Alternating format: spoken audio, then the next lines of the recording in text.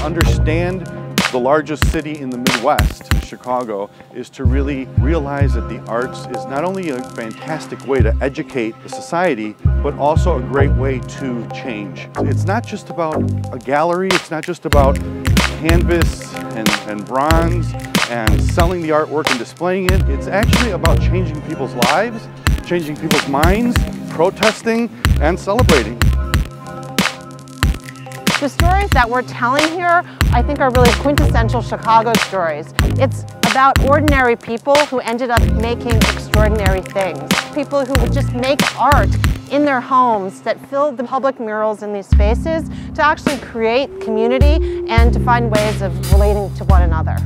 I can't make anything without calling up at least three or four or five or 20 people saying, this is what I'm working on, how can we work together? How can what I'm working on support what you're doing?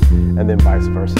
So it's just Chicago's DIY culture. We make our institutions, we build our institutions from the ground up and our institutions are made up of a complex network of community support.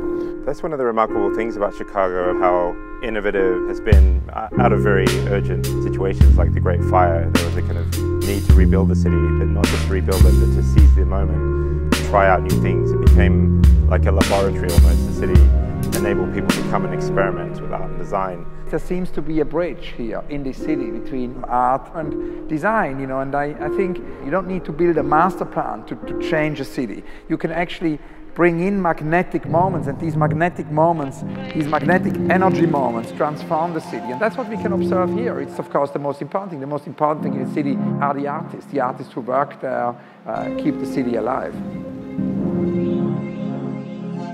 the identity of belonging to a city that was created by immigrants because of the industry, the factories that were here, really does change and influence the art and culture. Know, when Sandburg writes Hog Butcher to the World, and when, when I was growing up, you still smell the stockyards, that says something about the city because in the city you're always reminded that this is not a city which starts out genteel, it's a city that starts out a little rough. And that gave room, I think, for our Chicago artists to not simply fall in line with the idea of doing an American version of something else, but they could start with their own thing. And so we have artists who start here, they leave and they come home, but they identify as cultural activists who are trying to transform the world for all of us. And I think that's what makes Chicago really unique.